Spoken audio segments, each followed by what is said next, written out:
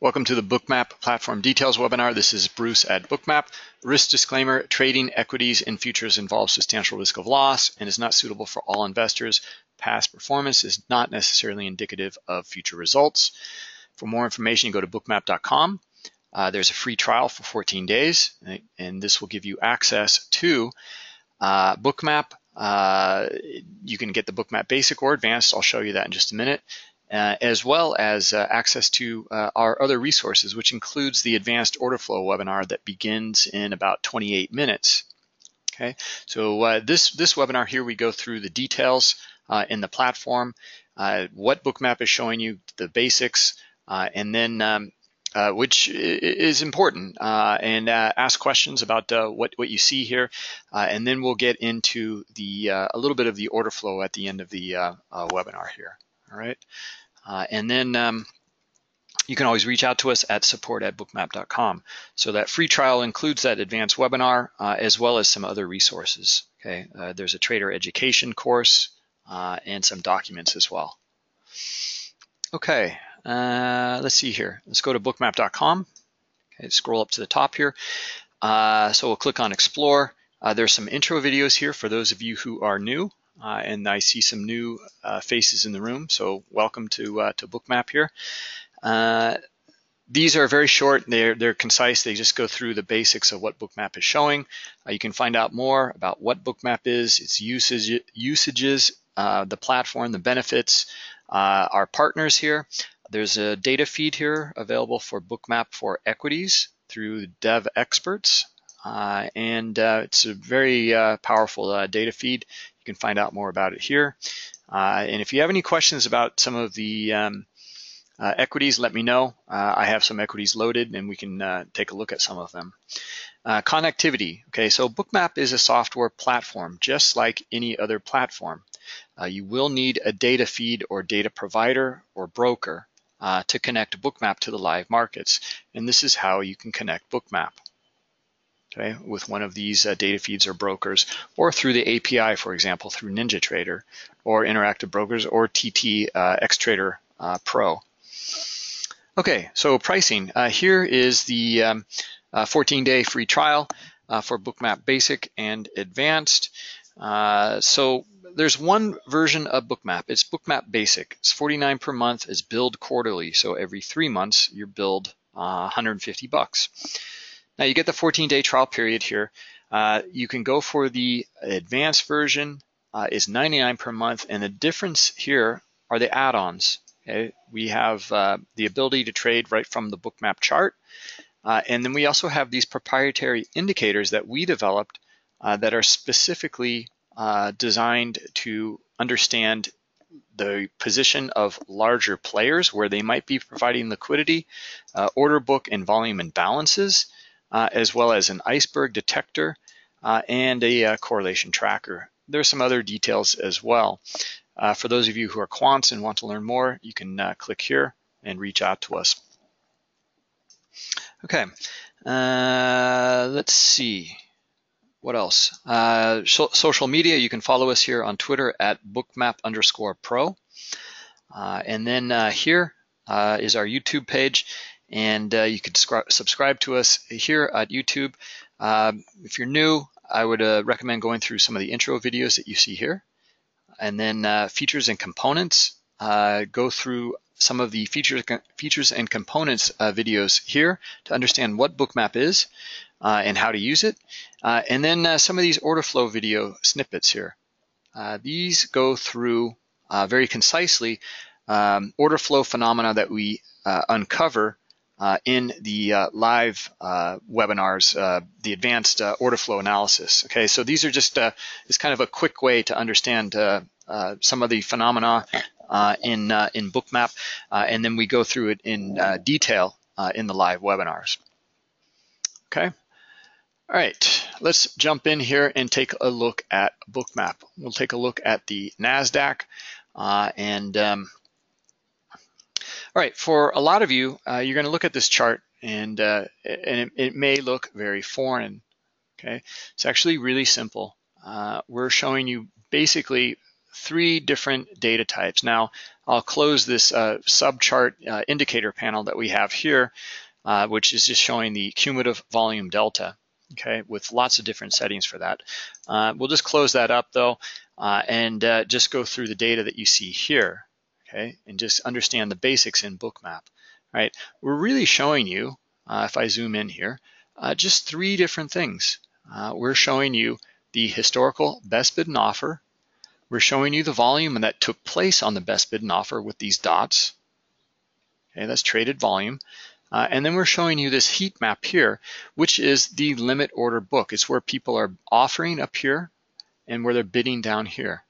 Okay, now that you usually see in the DOM, as you can see over here, the current order book. This is the DOM here in Bookmap. This, this is uh, liquidity at these specific price levels, uh, limit orders, people providing liquidity okay? Uh, now we just take that this data here, uh, turn it into a heat map, uh, and then we project it on the chart historically. So it's actually uh, really simple stuff. Now let's go through the demo here, and we're going to just turn on some candlesticks. We're going to turn off the volume, uh, and we're going to turn off historical best bid and offer as well as the heat map, okay, and the indicators as well. and I need to turn off the new feature that we have on the candlesticks here that gives the uh, a VWAP here, okay? So just make it really simple. Uh, and um, let's zoom out. Okay, this is a five minute candlestick chart. Uh, and uh, we are all accustomed to understanding the candlestick charts. Uh, so uh, open, high, low, close of a five minute period. Uh, and uh, you can start to read some of the pressure with the wicks and uh, the color of the body and the and the, the length of the uh, of the candle and the body, and understand um, uh, what's going on here uh, in price. It, it gives you a, you know some some insight. However, there are, is so much more data here that we're not seeing that is very very opaque. For example, we have no idea where the volume traded on this candlestick chart. Now we do have a volume subchart here. Uh, however, it's not showing you where it took place on the candle. Okay, that's important data, right? Uh, we want that insight. We want that transparency because it's going to allow us to make much more informed and precise uh, trading uh, uh, uh, decisions. So um, there's another uh, thing that the, the, candlestick chart is just is completely lacking here, and that's uh, the ability to show microstructure, okay? Because it's aggregating this data for five minutes. It's going back and forth in this candle. Uh, and then that time period is over and a new one starts. So I'm gonna turn on the historical best bid and offer, all right? And uh, let's zoom into this low here, and I'll show you what I mean. Okay.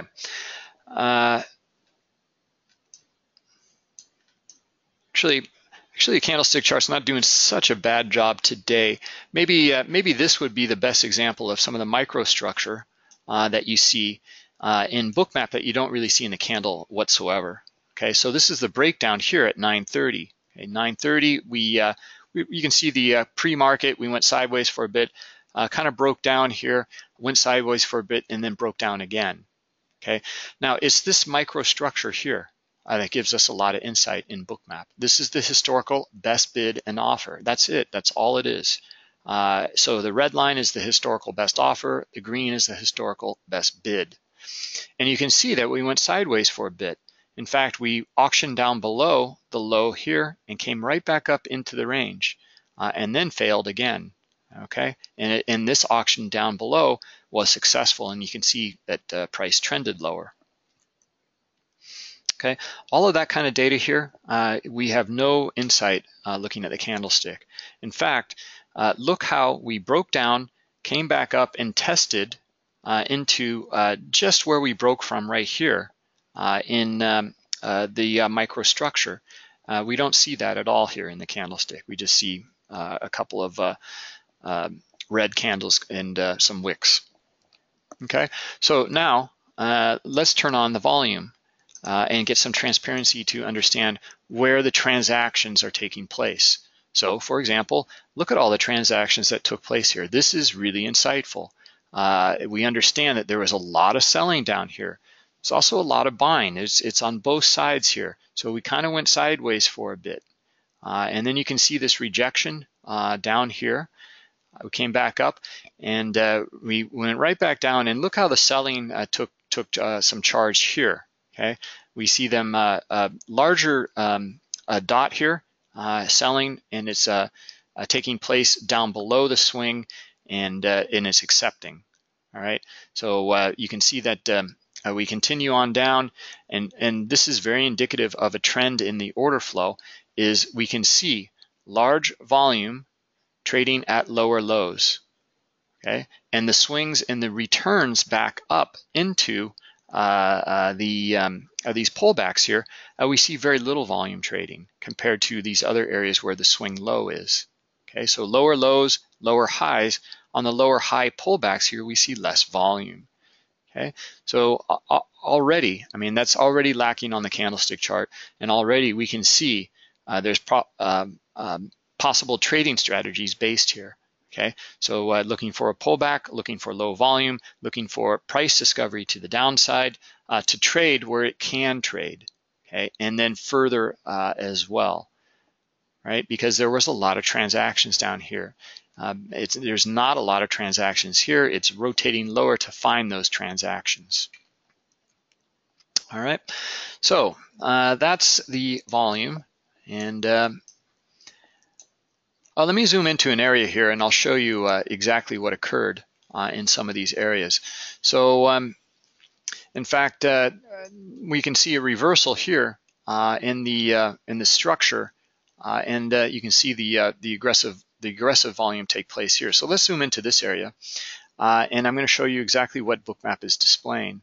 Okay, so uh, on the historical best bid and offer here, you can see all these dots. Okay, these dots are are trades, they're transactions. Right.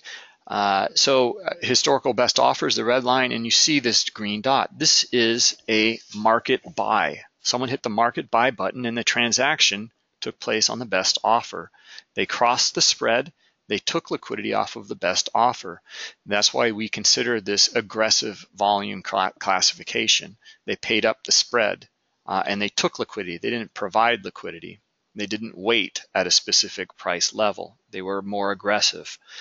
Uh, and then uh, the uh, red dot is an aggressive market sell. Okay, now all of these different dots, and you can see all the different transactions. Uh, if you want the uh, data, you can use the um, data tip tool here. We can hover over these areas and you can see this was uh, the date here, the time, what was on the ask, the liquidity that was on the ask here, and the volume.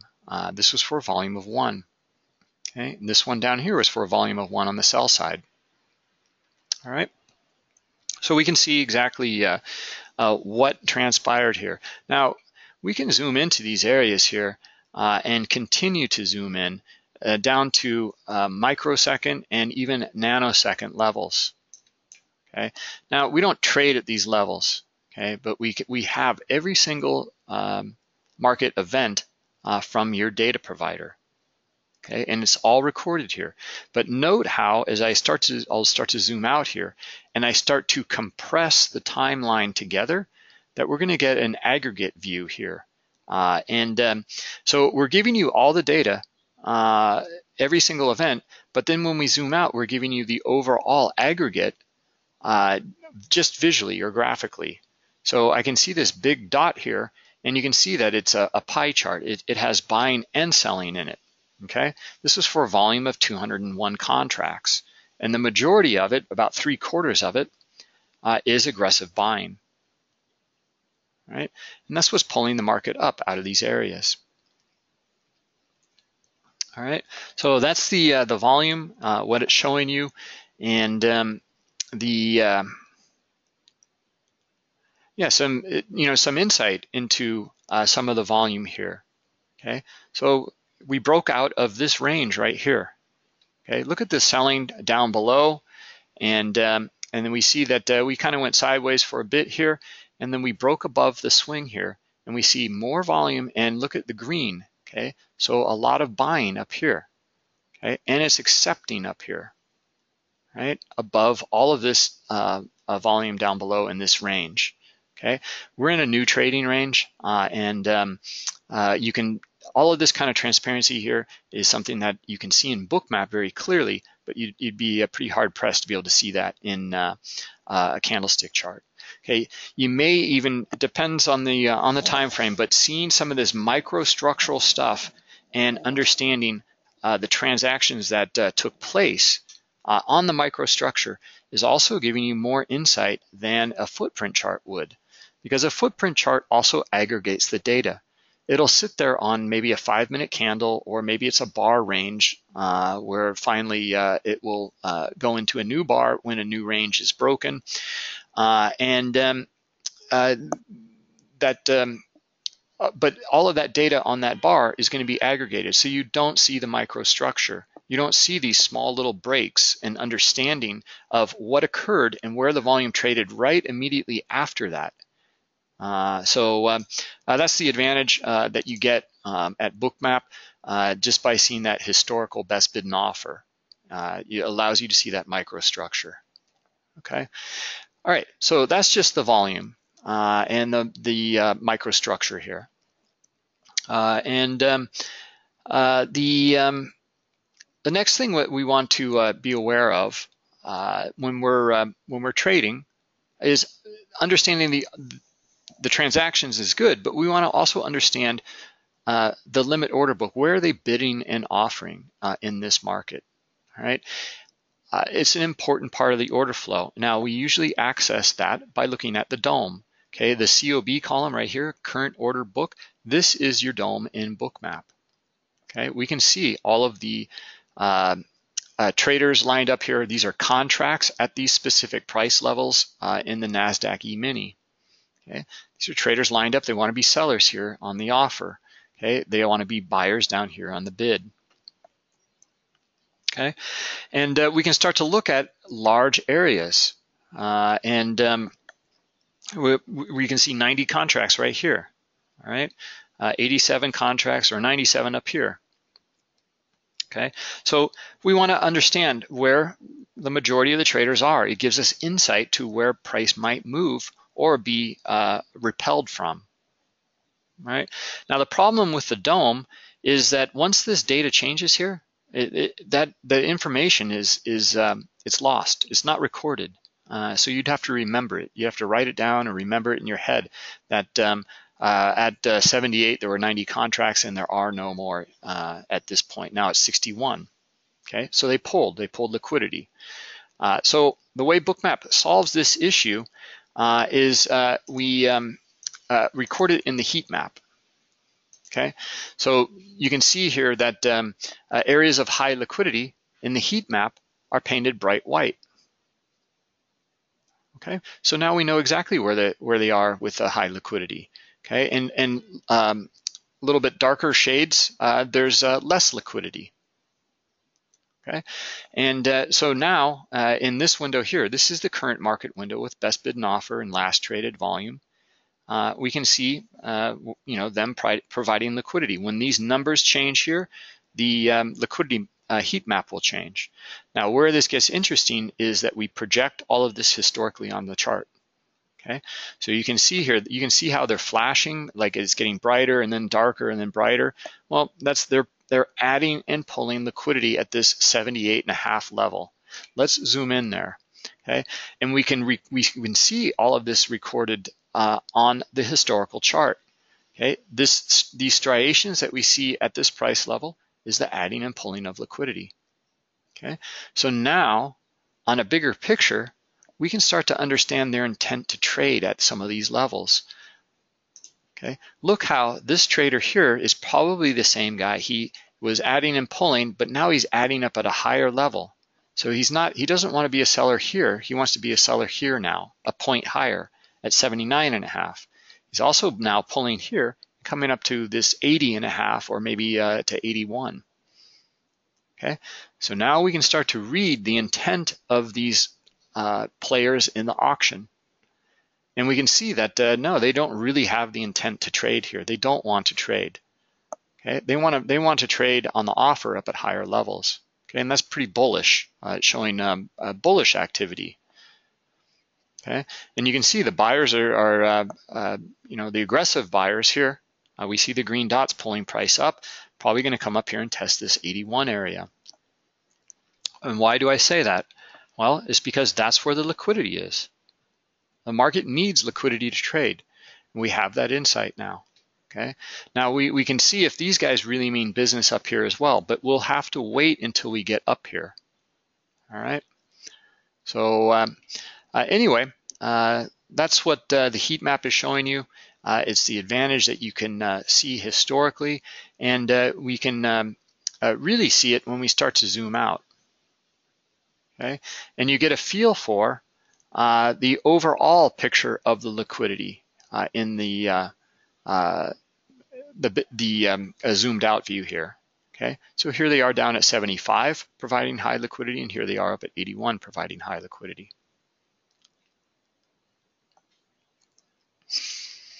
Okay, any questions?